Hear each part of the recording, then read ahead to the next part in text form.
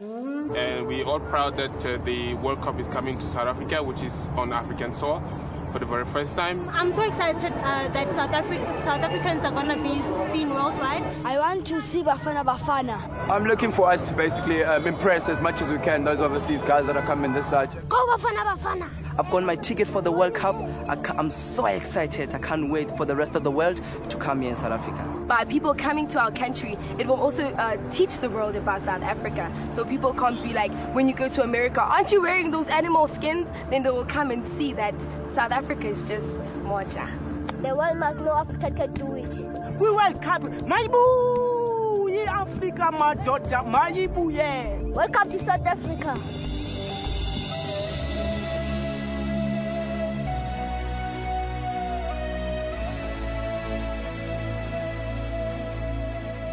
In 1990, here on the southern tip of Africa, a deal was made to lift the decades old ban on all political parties who are opposing one of history's most notorious and oppressive regimes. The African National Congress, an army largely in exile, was no longer forced to fight a war of bullets from the shadows against the racist creators of apartheid. In 1990, the father of the nation, Madiba, Nelson Mandela, walked free into a new world. The day he has also been waiting for. And then four years later, we cried tears of joy as we witnessed Nelson Mandela being the first democratically elected president of this, the new South Africa. Never and never again and uh, the FW that this beautiful land will again experience the oppression. Excellent! Finally, a black president to represent. I know it, so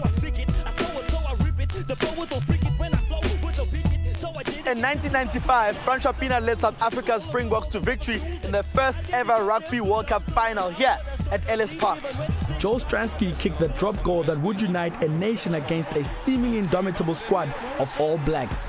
Madiba, our hero, was there to celebrate the victory with his people. So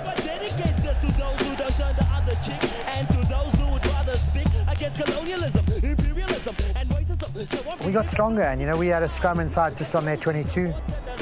Mehrtens was standing wide. Bishop was very focused on Joost Van der and uh, you know, this gaping hole for me to kick the ball through, you know, was exposed.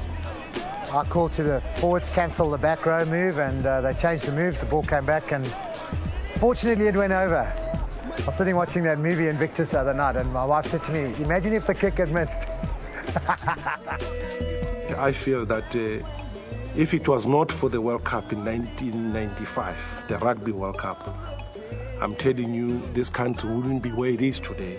95. We'll start with that because that was the Rugby World Cup, uh, which came through at a very difficult time when people were still uh, discussing, debating issues about the Springbok emblem. Should the Springbok emblem be kept? Should the Springbok emblem go? 1995, we were sportsmen. You know, we we played the game of rugby, and uh, we loved the game of rugby. We played it with all our hearts and all our souls.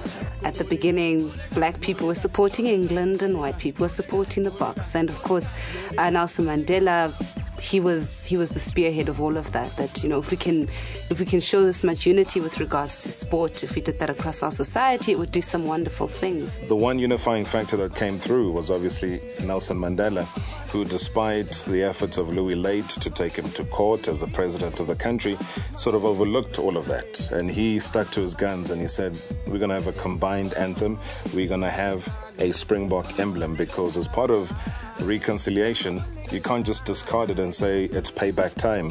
So it was great being the best in the world of rugby, but here in South Africa, we love soccer above all else. And the prospect of our national team, affectionately known as Bafana Bafana, being on the road to greatness took the national spirit to a whole new level. A year later, in 1996, South Africa hosted football's Africa Cup of Nations. Once again, sport was to prove a unifying force, bringing people together in celebration. Uh-huh. So shall take you back. South Africa is a country with a great diversity of origins, languages, cultures, and even religions. Its 11 official languages are a testament to the fact that it embraces the challenges presented by a divided past.